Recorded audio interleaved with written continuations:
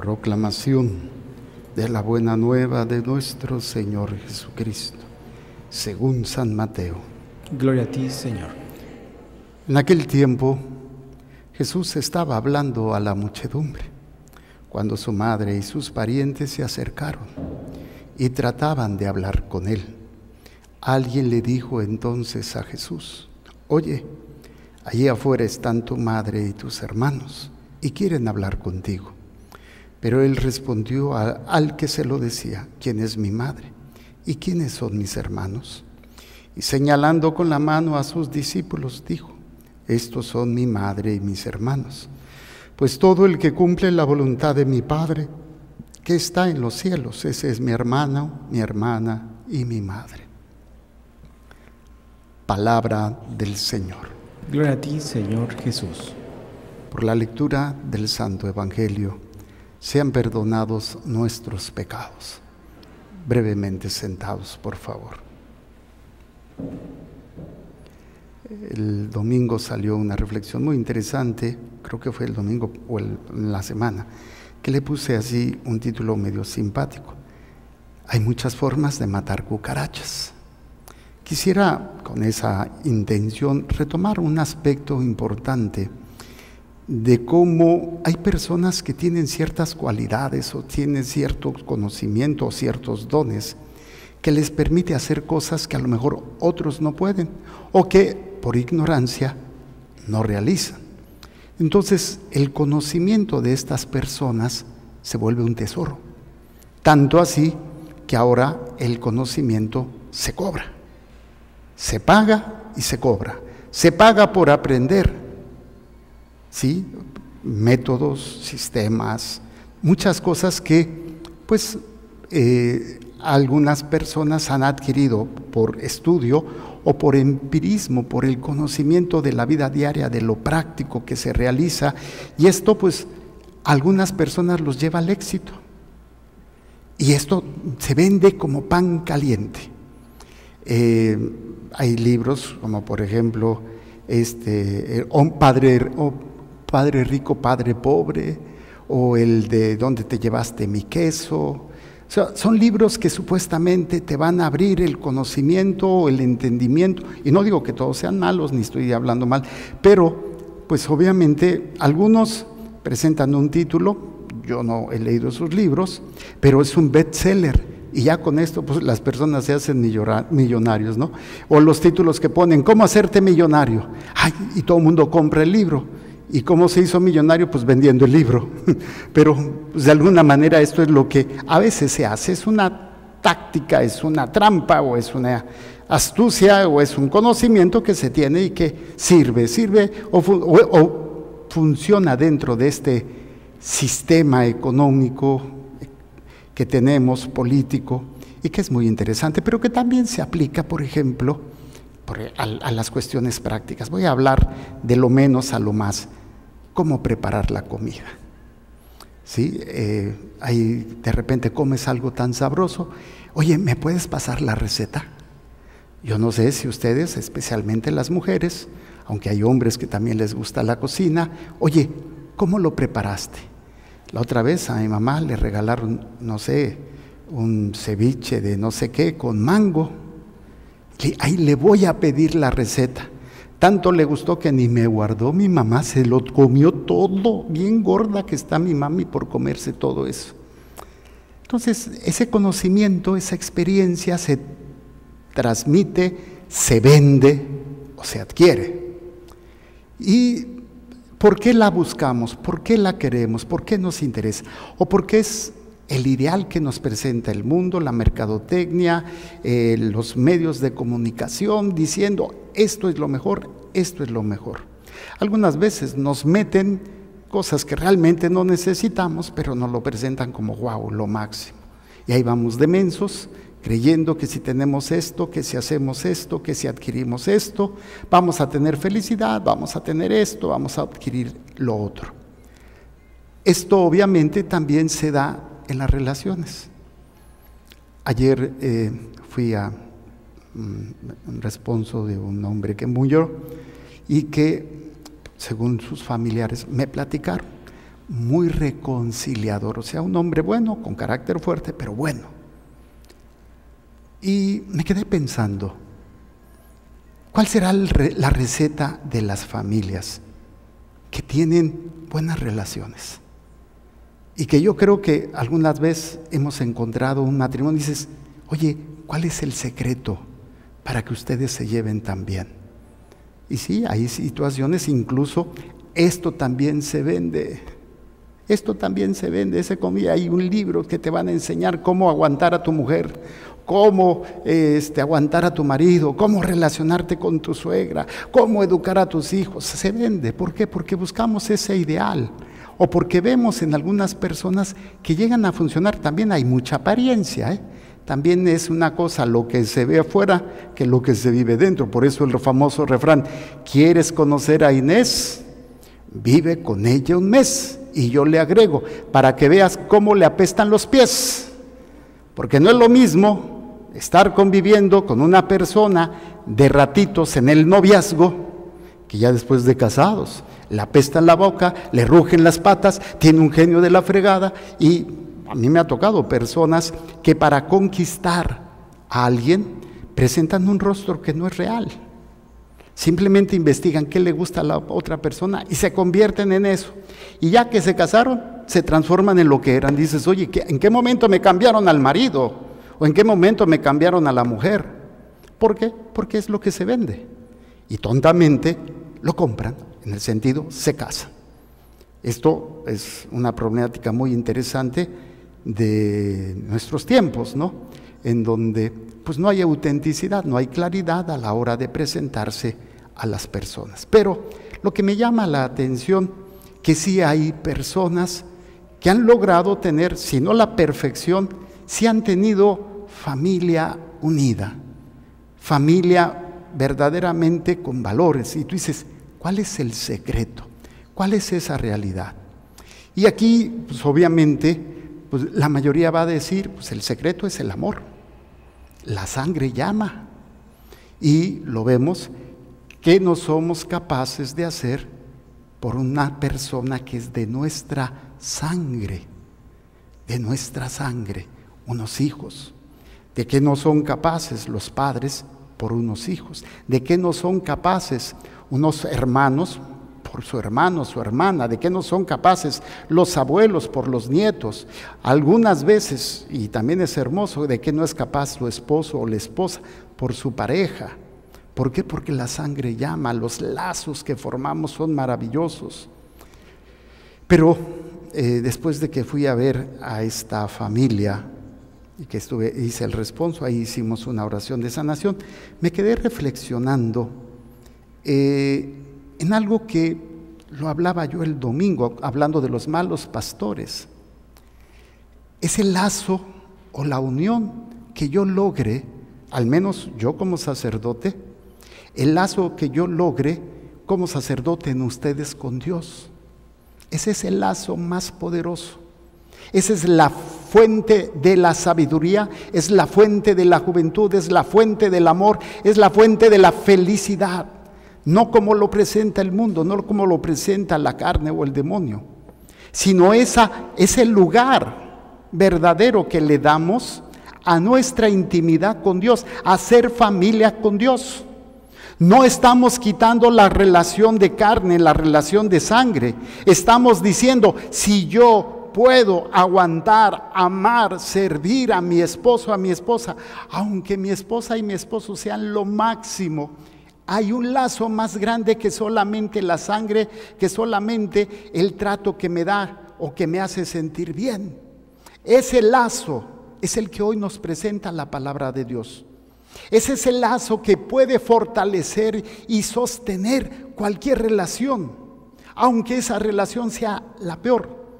Porque tú no vas a agradar a esa persona, tú no vas a buscar servir, porque incluso ese lazo que a veces tenemos de sangre es más fuerte que el lazo que deberíamos de tener con Dios. Y yo ponía el ejemplo en el programa, ¿cuántas veces vas a ir a misa el domingo y te llegan visitas inesperadas, o sea, gorrones? y son familiares y pues ¿cómo voy a? No, pues voy a misa después o ya no fui a misa, Padre. O sea, tu lazo con Dios no es tan fuerte como para decir, ¿saben qué? Quédense en casa, ahí se hacen frijoles, ahorita vengo, o acompáñenme. No lo hacemos. Es el lazo que es el que va a sostener, incluso, óiganlo bien, muchos tienen esa situación, ¿cómo sería la Sagrada Familia? Porque es la familia perfecta. ¿Cuál fue el lazo que hizo que esa familia, o sea, que José aceptara un hijo que no era suyo en la sangre, que María se aventara el rollo de quedar embarazada sin decirle nada a José, de educar a ese niño. ¿Cuál fue ese lazo que permitió que Jesús en un momento dado pudiera decir estas palabras como renegando o rechazando o haciendo un a un lado a sus parientes? Recordando que la palabra hermanos es, eh, de la lengua hebrea y griega, no existía o no existía en aquel tiempo la palabra primo o tío. Se le decía hermanos a todos los parientes. Y aquí es donde algunas personas con malicia dicen aquí para que vean que la Virgen tuvo más hijos, porque aquí dice, ¿dónde? Ahí están tu madre y tus hermanos. Entonces no se refiere a los hermanos de sangre, sino a los parientes, pero es importante hacer esa aclaración. Aquí lo interesante es entender y comprender lo que está sucediendo. Jesús no está renegando de su madre, no está renegando de sus parientes, está diciendo, si yo soy con María, es porque hay un lazo más grande que la sangre. Y ese lazo sabemos que María lo tenía porque María va a obedecer lo que se le pide. He aquí la esclava del Señor. Ella genera un lazo fuerte de familia con la voluntad de Dios, con el plan de Dios. Y hace que este lazo sea lo que sostenga su relación con José. Sea que, que sostenga José su relación con María. Porque recuerden lo que José quería hacer. José quería repudiar a María en silencio. Él iba a cargar con la culpa, aunque no era culpable, y se iba a ir dando a entender que él la había dejado embarazada y que la había abandonado. Pero ese lazo en cuanto oye o tiene ese sueño y que le dicen, no temas aceptar a María y a, y ese niño porque es hijo del Altísimo. Entonces José pasa por arriba del lazo de sangre, por el lazo afectivo, por el lazo, para formar una familia por arriba de la sangre, que es un lazo en la obediencia, en el plan de Dios. ¿Quieres que tu matrimonio se sostenga? ¿Quieres que tus hijos crezcan? ¿Quieres mejorar y funcionar mejor? No pierdas este lazo, este, esta unión con Cristo en la obediencia. Lo vemos, por ejemplo, en la primera lectura. En la primera lectura, que es un pasaje del Antiguo Testamento del libro del Éxodo, ¿qué ha pasado? Pues simplemente que han pasado las diez plagas. Y entonces el faraón, ya harto y con un gran dolor porque murió su hijo y todos los primogénitos varones y de animales de Egipto, deja al pueblo judío salir, huir. Y entonces, ¿qué sucede? El pueblo llega pues, al desierto y llega al mar. Por un lado está el mar, por otro lado está el desierto. Y entonces, así como que se arrepintió el faraón y dice, ¿qué hice? Vámonos por ellos, porque son nuestros esclavos. Entonces aquí hay un lazo muy importante. Moisés y el pueblo, que después también se va a revelar, pero el pueblo hace caso a Moisés porque es el vocero de Dios, es la voz de Dios, es el mensajero que está diciendo lo que Dios quiere. Y cuestiona, ¿para qué nos trajiste a morir aquí? Mira, nos trajiste a morir para allá en, el, en, Egipto, al menos teníamos lugar donde morir, aquí vamos a morir en el desierto. Pero aquí la importancia de la autoridad. Moisés asume la responsabilidad de todo el pueblo, son miles y miles de personas. Como autoridad, él hace lo que Dios pide y logra el pueblo obediente, pero obediente porque por miedo, por lo que quieran y por la circunstancia que están, se abre el mar y pasan. Y aquí hay algo muy interesante. ¿Cuál, ¿Cómo era el paso el caminar del pueblo judío. Dice que era en seco, o sea, se abrió el mar y pues supuestamente de haber quedado el piso húmedo, pero fue en seco, quiere decir su caminar fue fácil. Aquí traducido, la obediencia a Dios, el lazo en Dios. Pero viene atrás ya el emperador, hoy digo el faraón, enojado y con todo su ejército. 600 caballos o 600 carros de, de guerra jalados por caballos. Y fíjense qué es lo que sucede. Dice el texto. Dice, hacia el amanecer el Señor miró desde la columna de fuego y humo al ejército de los egipcios y sembró entre ellos el pánico. Trabó las ruedas de sus carros, de suerte que no avanzaban sino pesadamente. Esta es la diferencia de un lazo humano temporal, que a veces es pues esa voluntad humana, quiero hacer esto, tengo ganas de esto, voy a hacer esto cuando quiero, incluso en las cosas de Dios, usamos la palabra de Dios para hacer nuestra humana voluntad y manejar las cosas a nuestro antojo. Pero el que hace la voluntad de Dios, ese paso es ligerito, que podríamos traducirle, vengan a mí los que están cansados y agobiados por la carga, que yo los aliviaré, porque mi yugo es suave y mi carga es ligera el caminar en las cosas de Dios. No quiere decir que no vas a tener broncas o que no te va a doler. Quiere decir que vas a poder, a pesar de todo, seguir. Pero el que no está en ese lazo, en la divina voluntad, obedeciendo a Dios, ahí los soldados estaban obedeciendo al faraón y el faraón estaba obedeciendo a su odio y a su avaricia de cómo voy a perder a mis esclavos y los teníamos aquí. Eran esclavos que hacían lo que nosotros queríamos. Y es cuando entonces eh, se da esta situación de persecución. Y viene esta caminar nada fácil en medio del fango. Aquí obviamente el fango lo vamos a interpretar o lo vamos a entender como la humana voluntad. Cuando es más fuerte el lazo a mi querer o al agradar al mundo, al agradar al hijo, al agradar al esposo, al agradar por sobre lo que Dios nos pide. Entonces tu caminar va a ser pesado. Y yo creo que les ha tocado, no sé si en carne propia, pero a lo mejor les ha tocado personas que viven amargadas, llenas de odio. ¿Por qué? Porque van cargando un lazo más fuerte, más importante qué lazo que deberíamos de tener con Dios. Su lazo de odio, su lazo de vicio, su lazo de materialismo, o sea, esa afinidad que le damos y que llamamos a lo mejor al dinero y a las cosas mi padre, mi madre, ¿por qué? Porque son más valiosas, son más importantes que mi propia familia y mucho más que Dios. Por eso entender este, esta palabra de Dios desde esta visión es increíble porque nos ayuda a comprender como ese, esa familia a la cual Dios nos invita, a la cual Jesús nos dice, cuando le dicen, afuera están tu madre y tus hermanos, y dice, ¿quién es mi madre y quiénes son mis hermanos? No está renegando de su madre, está diciendo, mi lazo con mi madre es muchísimo más grande que la sangre, es más importante y más poderosa. Porque mi madre hizo la voluntad de Dios y como ella hace la voluntad de Dios, ella es doblemente mi madre. Madre en la sangre, pero madre en el espíritu, porque hace lo que Dios le pide. Y esa es la invitación que hoy la palabra de Dios nos hace a todos. ¿Eres familia de Dios?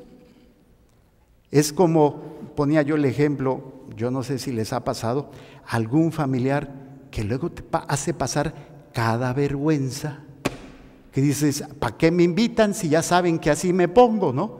El chistosito, el borrachito, el imprudente, el gritón, que dices, cállate, pues así soy, ¿para qué me invitan? El borrachito, ¿no? Que, ay, pues ¿para qué me invitan si ya saben que siempre me pongo borracho? Yo tengo unas anécdotas medio simpáticas de mi familia. Eh, mi papá, un, hombre, ya en paz descanse, carácter fuerte, Teníamos una casa, bueno, rentábamos una casa y tuvimos que cambiarnos a la otra calle porque ya nos pidieron la casa. Entonces, cuando se llevaron todos los muebles, todavía pasaban unos días hasta entregar la casa. Y mis hermanos, bueno, mi hermano más joven, más chico que yo, el güero y yo, papá, ¿nos dejas hacer una fiesta? Estoy hablando de los setentas, en 70, sí. Y yo estaba en las, para entrar a la secundaria, yo estaba en la secundaria. Entonces las fiestas eran, no había antros, no había, las fiestas eran en las casas.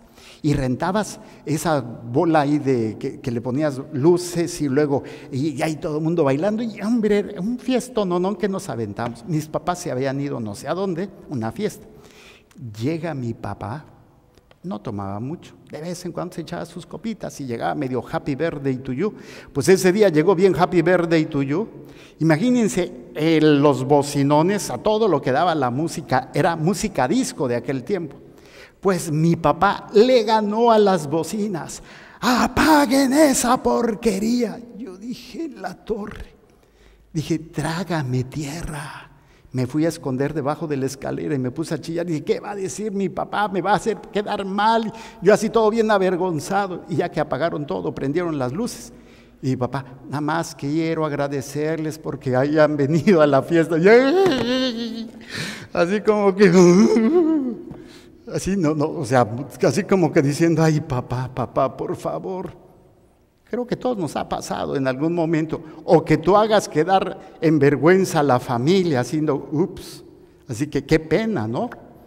Situaciones así muy vergonzosas. Eh, una tía, hermana de mi mamá, los, los, hermanos de mi mamá son bien locochones. Una tía que todavía vive, mi tía Alicia, recuerdo, que nos contaba la anécdota de ella que era una fiesta de la escuela de uno de sus hijos. Y estaban ahí los papás y estaban, no sé, qué recitaciones y todo. Entonces, mi tía no estaba considerada para nada. Entonces ella empezó, oigan, que la mamá de Roberto Magaña quiere hacer una recitación. Pues es ella, pero no decía.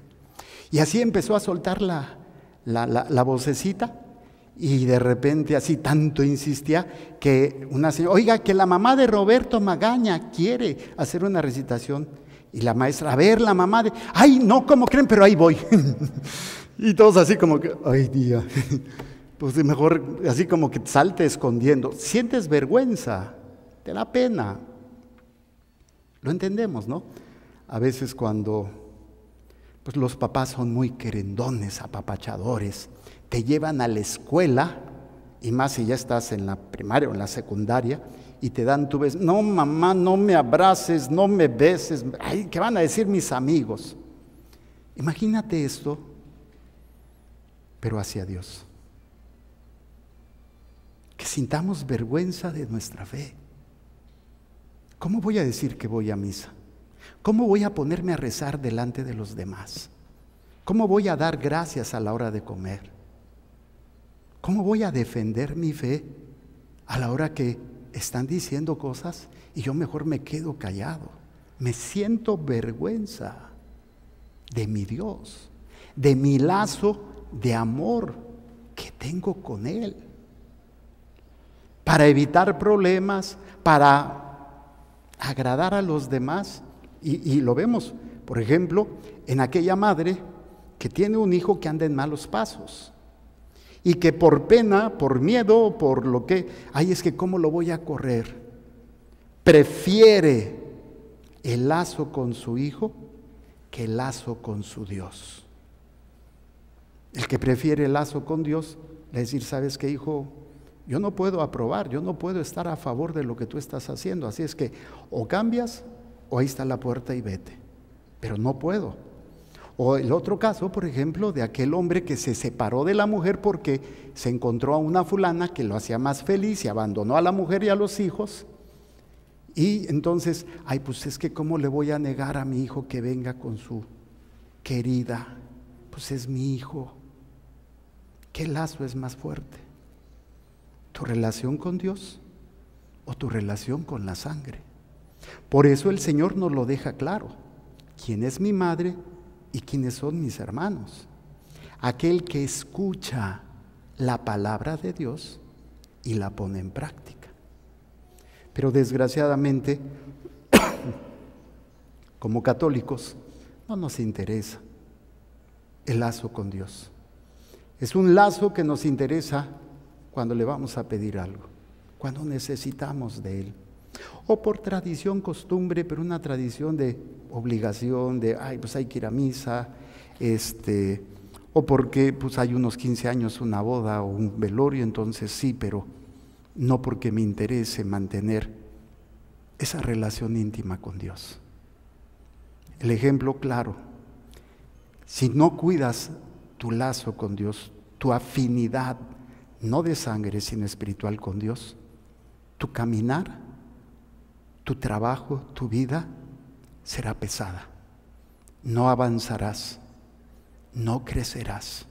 Tal vez en aspectos económicos, con las tranzas, con las mentiras, tal vez en el aspecto sensual, con tus infidelidades, pero tu alma, tu ser como persona, no avanza.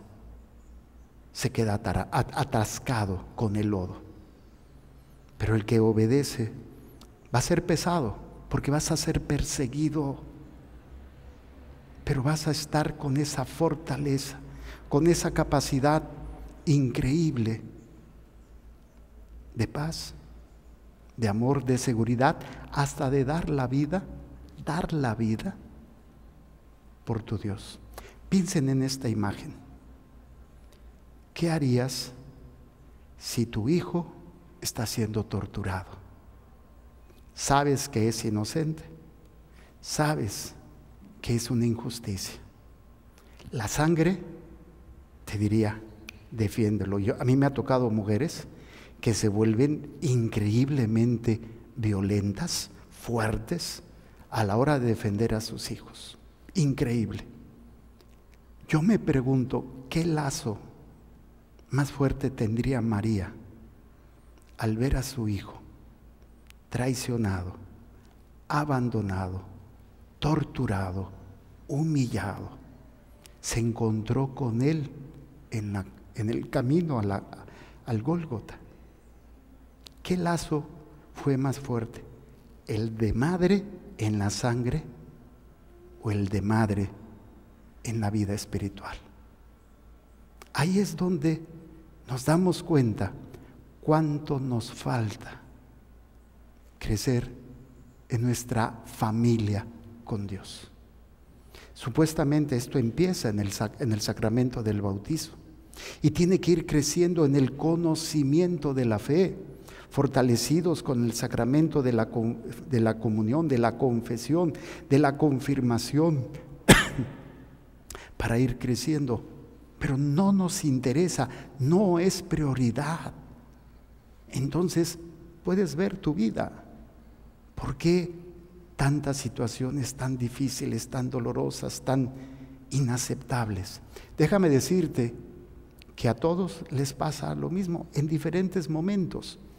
Todos van a pasar por momentos difíciles, a diferencia del momento de prueba de dolor, que no a veces no se te quita, pero tu carga, tu caminar no será imposible y crecerás, te, fortalecerás, serás salvado, alcanzarás la salvación o tu caminar será atascado por esas llantas enlodadas del odio, del pecado, de la soberbia, de tu querer y de tu hacer.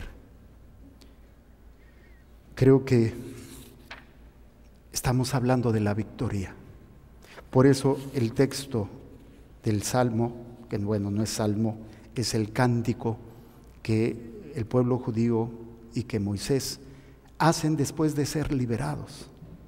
Y fíjense, es triste, hacen el cántico, pero después, a los pocos días, van a renegar, porque Moisés va a subir al monte a recibir las tablas y el pueblo desesperado ya se les olvidó. Inmediatamente se van a hacer un ídolo para tener otro lazo con algo que ellos puedan manejar. Pero aquí hay una victoria. Y así es como nosotros, como católicos, tenemos que vivir una victoria a la vez. ¿Qué victoria? cada día mi lazo, mi afinidad con Dios es más grande que cualquier otro lazo o afinidad. No estoy renegando de mi madre, no estoy renegando de mi padre, no estoy renegando de mis amigos.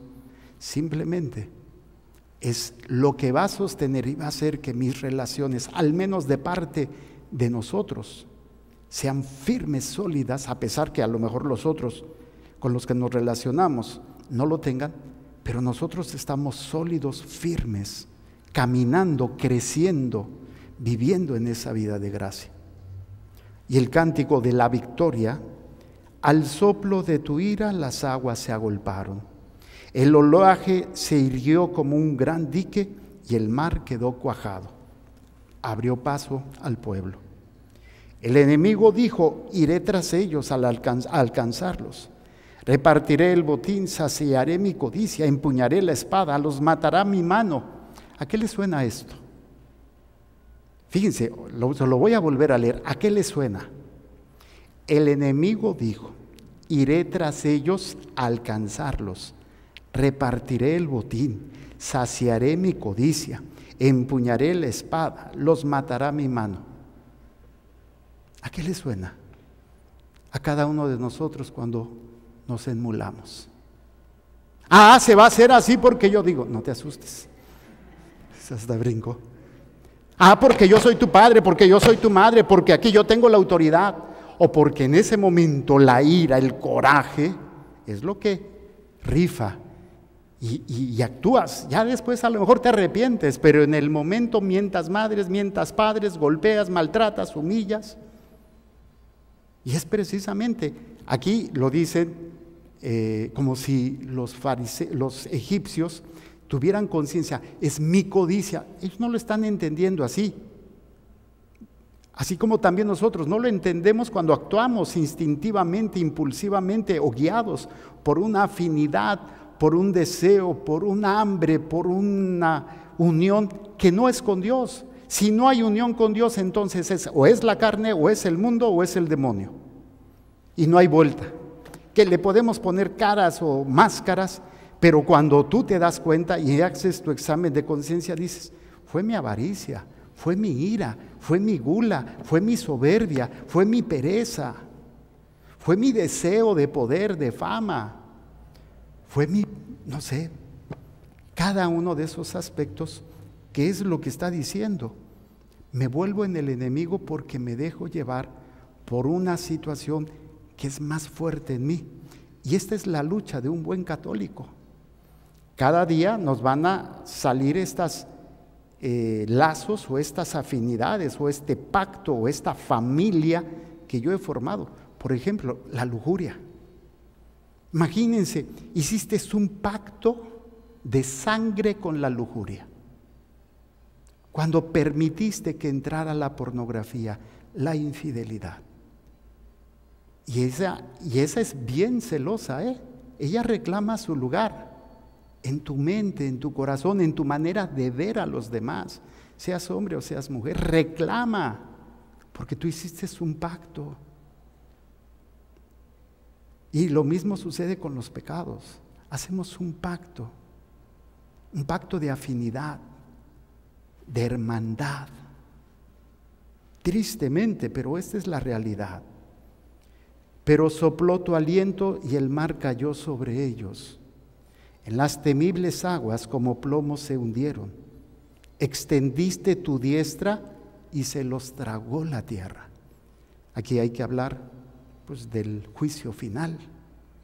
Aquellos que no quisieron mantener esa, esa eh, afinidad de, de familia con Jesús yo quiero ser la madre, yo quiero ser el hermano, yo quiero ser la hermana de Jesús. O el puesto que me toque, yo quiero formar parte de la familia de Jesús. Tú llevas a tu pueblo para plantarlo en el monte que le diste en herencia, en el lugar que convertiste en tu morada, en el santuario que construyeron tus manos. Y ese lugar lo empezamos a vivir aquí. Le llamamos la vida eterna. ¿En qué consiste la vida eterna?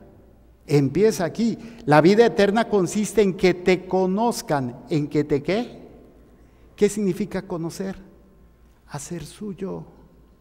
Haces tuyo a Dios. Acuérdense que incluso cuando a la Virgen María se le dijo, vas a ser madre, le dice, ¿y cómo será esto que yo no conozco varón? O sea, nadie me ha poseído. Y por eso conocer a Dios es poseerlo o que Dios me posea a mí, hacerme suyo. Y la única forma de hacerme suyo es la unión en la divina voluntad. No hay otra forma de estar unido a Dios, porque muchos pueden confesarse, pueden comulgar, pueden rezar miles de cosas, pero no estar unido a Dios. No hay esa unión, no hay ese deseo, no hay esa búsqueda. Y el Señor quiere que cada día luchemos por esa unión. Me toca acompañar a familias, madres o padres, que están luchando para que sus hijos no se pierdan. Y luchan contra el celular, luchan contra la computadora, luchan contra los juegos de video, luchan contra los vicios, luchan contra los amigos que se los están jalando. ¿Para qué? Para que esos hijos, tarde o temprano, terminen unidos, no a ti, sino a Dios. Si logras que ese lazo con tu hijo, con tu hija, con tu esposo, con tu esposa, sea en Dios, tu matrimonio es un matrimonio bendecido. Tus hijos serán bendecidos. Sí van a sufrir, sí van a padecer, pero ese caminar y ese crecimiento se va a dar. El otro, el que no está en unión con Dios, también va a sufrir, va a padecer y va a buscar hacer trampas y va a buscar hacer todo, o se va a llenar de odio, pero no va a haber ese crecimiento, ni va a haber esa afinidad, ni va a haber esa fortaleza, ni esa paz. Creo que hoy la palabra de Dios a cada uno nos invita a la victoria. Esta victoria de luchar todos los días por no avergonzarnos de nuestra fe por fortalecer el lazo con Dios a través de la obediencia. Y entonces veremos sus maravillas. Seremos sostenidos en la prueba, en el dolor, porque es más fuerte mi unión con Dios que con cualquier otra persona. Os invito a que hagamos un momento de silencio y contestemos dos preguntas. ¿Qué te dijo hoy a ti esta palabra? ¿Y a qué te invita? ¿A qué te cuestiona esta palabra que hagas? Hagamos un momento de silencio.